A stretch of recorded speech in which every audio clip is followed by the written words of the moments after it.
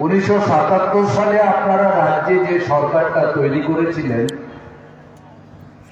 সেটা বসুর নেতৃত্বে বামফ্রন্টের সরকার। সাতাত্তর সাল। সরকার ক্ষমতায় গিয়ে প্রথম সিদ্ধান্ত নিল বিনা বিচারে যে লোকগুলোকে জেলখানায় কংগ্রেস আটকে রেখেছে। তাদের সবাইকে মুক্তি দেওয়া হবে।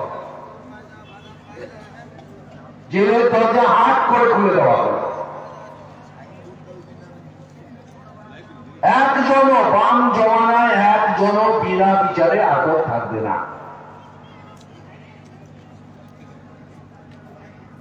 অন্যতম কাজগুলোর মধ্যে আরেকটা গুরুত্বপূর্ণ সিদ্ধান্ত নিল এখন থেকে গ্রামের ভালো মন্দ গ্রামের মানুষরাই ঠিক করবে। আপনি একটা পঞ্চায়েত এলাকায় বাস করেন। ওই পঞ্চায়েতে কটা নদী, কটা খাল গেছে। ওই নদী, ওই খাল দিয়ে যে জল যায় তার খানিকটাও যদি আমরা ব্যবহার করতে পারি, তাহলে কত জমিতে সেচ হতে পারে? ওখানে কত জমি আছে? ওখানে কত গাছপালা, অরণ্য সম্পদ আছে? ওই গ্রাম পঞ্চায়েত এলাকায় কত প্রাণী সম্পদ আছে? এই সম্পদের বিকাশ ঘটানোর কাজ কি রাইটার্স বিল্ডিং থেকে হবে? ওখানকার আমলারা বসে আর ওখানে মন্ত্রীরা বসে বড়বাজারের একটা গ্রাম পঞ্চায়েত, তার কি করে উন্নয়ন হবে? সেখানে কি করে সেচটা বাড়াবো? সেখানে কি করে প্রাণী পালনের সুযোগ বাড়বে? সেখানে কি করে চাষবাস বাড়বে? সেখানে কি করে খেত মজুর আরও বেশি কাজ পেতে পারে? ওরা ঠিক করে দেবে।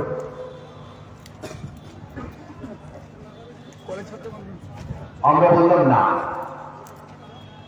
গ্রামের মানুষ গ্রামের উন্নয়ন করবে। গ্রামে কি সম্পদ আছে সেটা তারা ভালো জানে। কোন দিকের জল, কোন দিকে গড়ায় ওরা জানে। পরিকল্পনা ওরা করবে। আর এই কাজটা যদি করতে হয়, তাহলে গ্রাম উন্নয়নের ক্ষমতাটা তাদের হাতেই তুলে দিতে হবে। বছর ঘুরতে না ঘুরতে পঞ্চায়েতের ভোট হলো।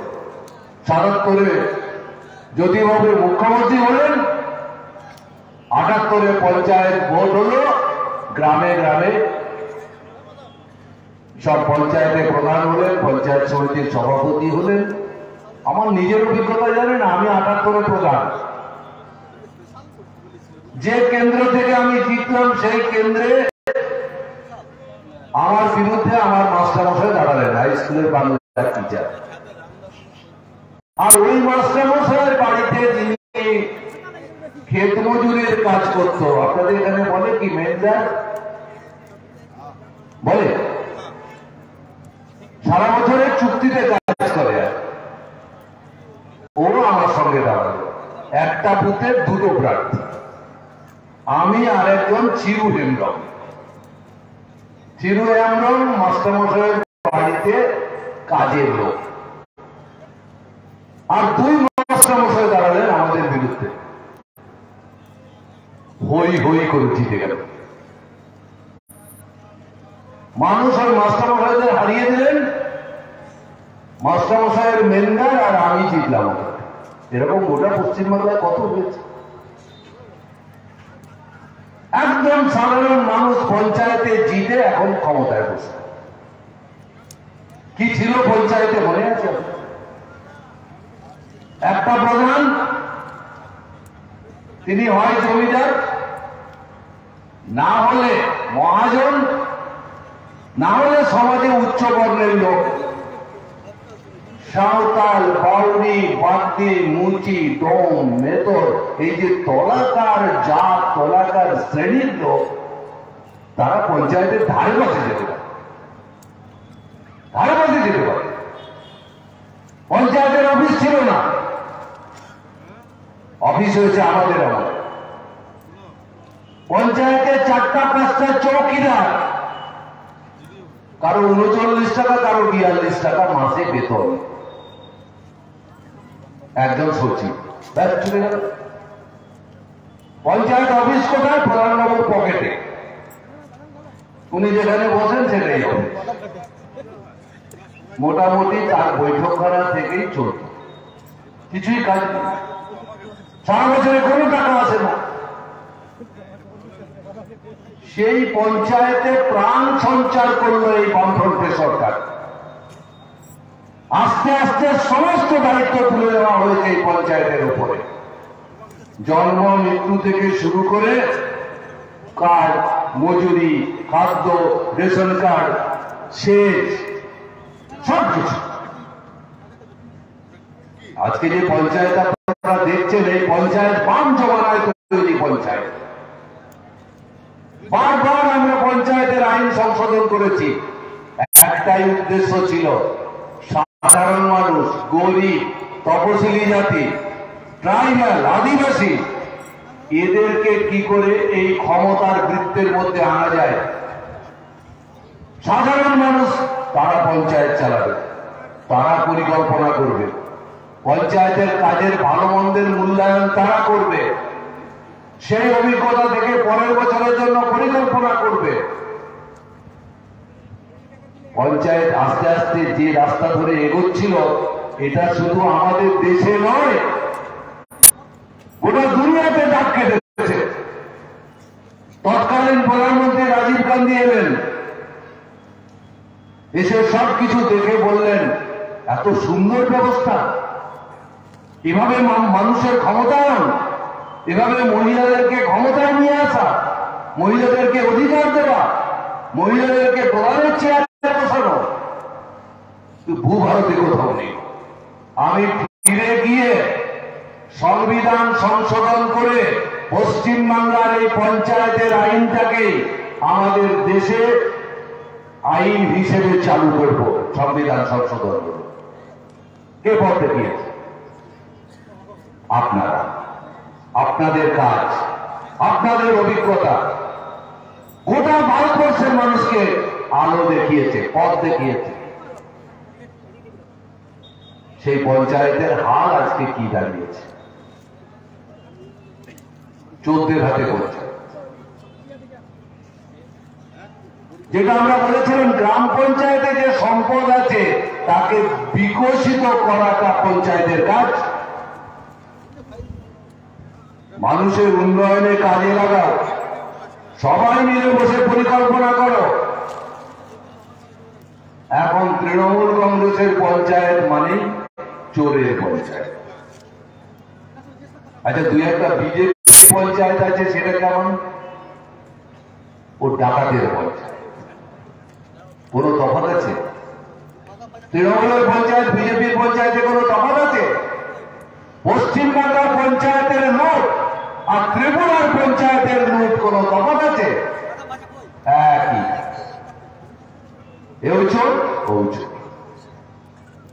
আমি আপনাদের কাছে খুব বিনীতভাবে একটা প্রশ্ন করব। আচ্ছা পশ্চিমবাংলায় যখন বাম ফ্রন্টের সরকার ছিল, তখন বিরোধীদের পঞ্চায়েত ছিল। কংগ্রেসের পঞ্চায়েত ছিল।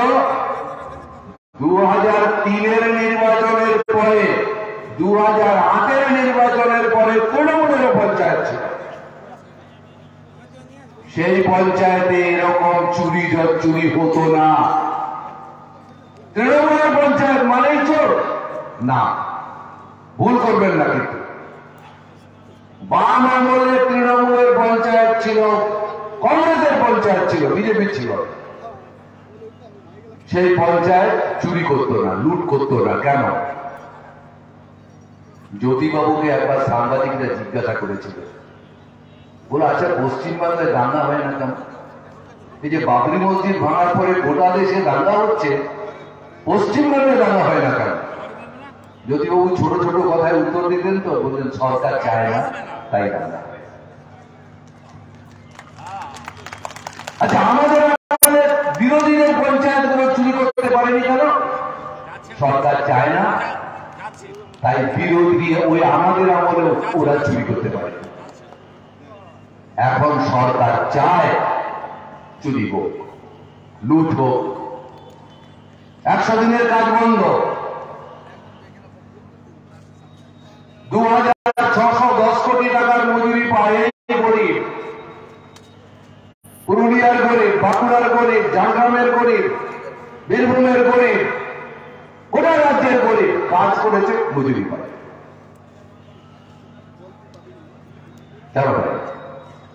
কে কাজ করাতে বলেছে কোথায় অর্ডার আছে? টাকার অ্যালটমেন্ট নেই, কাজ করাবে।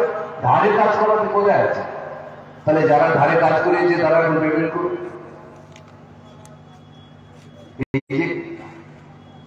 আবাস যোজনা। আবাস যোজনায় প্রত্যেক গৃহহীনের বাড়ি হবে। একজন মানুষ থাকবেন না একটা পরিবার থাকবে না, যার মাথার উপরে ছাদ নেই। আমাদের প্রধানমন্ত্রী বলেন দু সালে স্বাধীনতার পঁচাত্তরতম বর্ষ উদযাপন যখন হবে, তখন সবার বাড়ি। এখন বলছি, যাদের লিস্টে নাম নেই, তাদের হবে না? মানে নাম নেই কেন? তারা কোথায় যাবে? প্রধানমন্ত্রী ঘোষণা করেছেন তার দায়িত্ব নেই সেই প্রতিশ্রুতি পালন করা আমরা অপেক্ষা করছি এবারের বাজেটে ওরা কি বলে দেখব। ছেড়ে কথা বলার দিন আর নেই। বিজেপি সাধু নয়। বিজেপি এমন অনেক প্রতিশ্রুতি দিয়েছে যারা একটাও পালন করে একটা প্রতিশ্রুতি পালন আর তৃণমূলের কথা আপনি ছেড়ে দিন এরা এখন পঞ্চায়েতে বসে যে টাকাটা লুট করছে, এটা গরিবের জন্য বরাদ্দ করা টাকা। একশো দিনের কাজ চাই।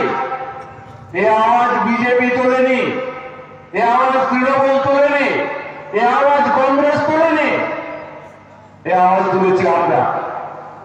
গরিবদের নিয়ে আমরা দল করি। গরিবদের পাশেই আমরা গরিব চিরকাল গরিব থাকবে, এটা আমরা মেনে নিতে পারি না। গরিবকে মাথা তুলে দাঁড়াতে হবে। গরিবকে লেখাপড়া শিখতে হবে। আর অধিকারের জন্য গরিবকে লড়- লড়তে হবে। সেই লড়াইয়ে আমরাও থাকব তাদের সাথে। আপাতত গরিবকে যদি বেঁচে থাকতে হয়, চাষবাসের ক্ষেত্রে যন্ত্র আসছে, গরিবের কাজ করছে গরিব গরিবকে যদি সরকার একশো দিন কাজ না দেয়, গরিব বাঁচবে কি করে? লড়াইটা ছিল গরিবকে বাঁচানোর জন্য সরকারকে একশো দিন কাজ দিতে তৃণমূল বলল, এই টাকাটা আমাদের লুট করার জন্য দিল্লি দিচ্ছে। গরিবকে কাজ না দিয়ে টাকা লুট করে দিল। আচ্ছা আমাদের মুখ্যমন্ত্রী সব জানেন কে চুরি করছে, কত টাকা চুরি করছে, শুধু তৃণমূল চুরি করছে না, তার সঙ্গে ভিডিও যুক্ত আছে, সব জানেন একটা লোকের নামে এফআইআর হয়েছে একটা লোক গ্রেপ্তার হয়েছে। একশো দিনের কাজে টাকা মারার জন্য একটা তৃণমূল জেলে আছে। নেই। মুখ্যমন্ত্রী যদি বলে, মেরেছিস, বেশ করেছিস। তাহলে সেখানে চুরি হবে না। বাম আমলে তৃণমূল চুরি করতে পারেনি কারণ সরকার চায়নি। এই আমলে পঞ্চায়েতগুলো বেপরোয়া চুরি করছে কারণ সরকারই চুরিতে মদত দিচ্ছে। সামনে পঞ্চায়েতের ভোট। আপনাদের অনেকের মনে হচ্ছে যে এবারের ভোটে তৃণমূলকে উৎখাত করে দেব। তৃণমূলকে উৎখাত করা এক ধাপ এগিয়ে যাওয়া। কিন্তু নবান্নে যারা বসে আছেন, তাদের উৎখাত না করলে আপনি যা চান তা কোনোদিন করতে পারবেন না। ডাকাত রানী ওখানে বসে আছে। তার নির্দেশে চুরি হচ্ছে। শিক্ষায় চুরি, স্বাস্থ্যে চুরি, আবাস যোজনায় চুরি, একশো দিনের কাজের চুরি, এই সব চুরি ওরাই করাচ্ছে ওখান গ্রামে এখন যাচ্ছে আমার অভিজ্ঞতা হচ্ছে গ্রামে প্রায় প্রত্যেকটা লোক দেখা হলে বলছে এবার আর তৃণমূলকে আমরা জিতে দেব। কিন্তু ভোটারদের মধ্যে দুটো ভাগ হয়ে আছে। ভোটারদের একটা অংশ, তার মধ্যে আমাদের দু চারজন গরিব আছে। একশো দিনের কাজ করেনি, কিন্তু অনলাইনে তার অ্যাকাউন্টে টাকা ঢুকে গেছে। সেও গরিব, সেও গরিবের একজন। কাজ করে টাকা পায়নি, আর কাজ না করে ফকটিয়া টাকা ঢুকে যাচ্ছে তার অ্যাকাউন্টে ওই গরিবের ঘরে ছেলেটি সে মনে করে, সরকারটা তো ভালো, আমাকে কিছুই করতে হয়নি, অ্যাকাউন্টে টাকা ঢুকে যায়। তৃণমূলের নেতার বাড়ি খাদ আছে। ওই খাদান দেখভাল করে যারা, তারা তাদেরকে টাকা দেয়, ফুর্তি করার জন্য নানা রকমের উপাদান সাপ্লাই করে। সেও ভাবছে তৃণমূলটা থাকলেই ভালো, জীবন যেমন চলছে, এমনি চলবে। তাহলে তৃণমূলের পক্ষে যারা আছে তার মধ্যে একটা গরিব নেই, তা নয়, কিছু গরিব আছে। তারা এই চুরির ভাগ অল্প স্বল্প পায়। তারা আমাদের শত্রু নয়। অভাবে পড়ে খানিকটা স্বভাব নষ্ট হয়েছে। অভাবের ধারণায় তৃণমূলের পতাকা দলে তাদের মিছিলে পা মেলাতে বাধ্য হয়েছে আমরা মনে করি কোন গরিব, কোন খেটে খাওয়া। তারা তৃণমূল হতে পারে না, তারা কংগ্রেস হতে পারে না, তারা বিজেপি হতে পারে না। লাল ঝান্ডাই তাদের একমাত্র পার্টি। সেটা তাদের বিরুদ্ধে আমাদের লড়াই না। তৃণমূল আর যারা তাদের কাছ থেকে ছিটে ফোটা উপকার পেয়েছে অন্যায় ভাবে উৎকোচ, চুরির ভাগ। এরকম কিছু লোক মনে করে তৃণমূলটা যতদিন থাকবে, ততদিন আমার দু পয়সা হবে। আর বাকি বেশিরভাগ লোক মনে করে এই তৃণমূলকে আর একদিনও সহ্য করা যায় না, হঠাৎই। এই তো দুটো ভাগ। যারা তৃণমূলকে হটাতে চায়, তারা সবাই যদি এক কাট্টা হয়ে ভোট দেয় লাল ঝান্ডা ছাড়া আর কেউ জিতবে না। কিন্তু এখানটাতে ফেরো ঢুকে গেছে। ফেরো মানে বিজেপি। কোথাও কোথাও তারা বলছে, লাল ঝান্ডা তো জিতবে না, আমাদেরকে ভোট দিলে ভোটটা নষ্ট হবে, আমাদের দাও। আচ্ছা পুরুলিয়া জেলায় গতবারে যারা বিজেপির প্রতীকে জিতেছিল সেই লোকগুলো কোথায়?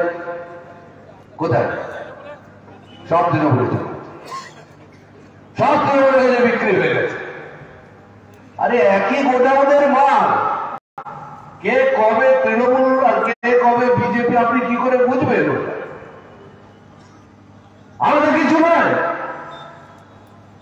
আজকে যে বলছে, বামদের ভোট দিও না, ভোটটা নষ্ট হবে, আমাদের দল সে তৃণমূল বিরোধী ভোটটা ভাঙতে চায়, তৃণমূলকেই পরোক্ষভাবে সাহায্য করতে চায়।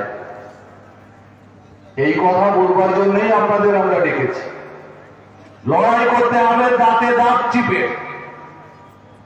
এই লড়াইয়ের ফাঁক ফোকরে বিজেপি ঢুকে পড়ে আমাদের লড়াইটাকে দুর্বল করতে চায়, তৃণমূলকে আবার জেতাতে চায়। আপনি দেখেন না, তৃণমূল গোয়াতে কি করতে গেছিল? যতগুলো পার্টি ভোট করতে গেছিল সব থেকে বেশি টাকা খরচা করেছে তৃণমূল। কার টাকা? এইসব। শিক্ষায় দুর্নীতি কয়লার টাকা বালির টাকা আর চুরির টাকা। গোয়াতে খরচ করতে গেল। কারণ গোয়া ওরা জিতবে। তৃণমূল নিজেরা ভালো করে জানতো একটাও জিতবো না। তাহলে গোয়াতে গেল কোনো? গেল বিজেপি কে জিতিয়ে দিতে হবে, ভোটটা ভাগ করতে। বিজেপি বিরোধী ভোট ভাগ করে দাও, তাহলে বিজেপি জিতে যাবে। কত বিধানসভাতে এখানে যে ভোট হয়েছে কত লোকসভাতে এখানে যা ভোট হয়েছে, সেখানে তৃণমূল আর বিজেপির বোঝাপড়া ছিল না। ছিল। এখন যে ত্রিপুরাতে অর্ধেক আসনে তৃণমূল প্রার্থী দিয়েছে, জেতবার জন্য নয়, বিজেপিকে জেতানোর জন্য। গায়ে থেকে তো যাত্রা হয়, আপনারা দেখেছেন, ওইটাই আমার শেষ কথা, আমি বলে আমার কথা শেষ করব। গায়ে থেকে যাত্রা হয়, আপনারা দেখেছেন। যাত্রায় কে দুর্যোধনের পাঠ করছে আর কে ভীমের পাঠ করছে। বাইরে দেখবেন দুজনে বিড়ি খাচ্ছে আর গপ্প করছে একসাথে। আর ভেতরে বলছে গদা দিয়ে তোমার উরু ভেঙে দেবো। তৃণমূল বিজেপি তারা মনে করে, রাজনীতির মঞ্চটা এরকম মঞ্চ, যাত্রার মঞ্চ। ওখানে এসব বলতে হবে। বাইরে এসে একটা ভিড়ি দুজনে ভাগ করে খাবে। কত প্রেমালাপ কত গল্প কত সব সুখের দুঃখের কথা। বিজেপি তৃণমূলের সম্পর্ক এটা। মিডিয়ার সামনে গরম গরম কথা বলে, রাজনৈতিক মঞ্চে গরম গরম কথা বলে, আসলে এই দুটোর মধ্যে কোনো তফাৎ নেই। যারা বিজেপির ঝান্ডা নিয়ে, বিজেপির কথা নিয়ে গরিবের ভোট ভাগ করতে চায়, সাধারণ মানুষের ভোট ভাগ করতে চায় তৃণমূলকে জেতানোর কৌশল করতে চায়, তাদের সম্পর্কে সচেতন থেকে এই সভা থেকে ফিরে যাওয়ার পর আপনারা সব বুথে এই লড়াইয়ের প্রস্তুতি গড়ে তুলুন। আপনাদের কাছে এই আহ্বান জানিয়ে আমি আমার কথা শেষ করছি।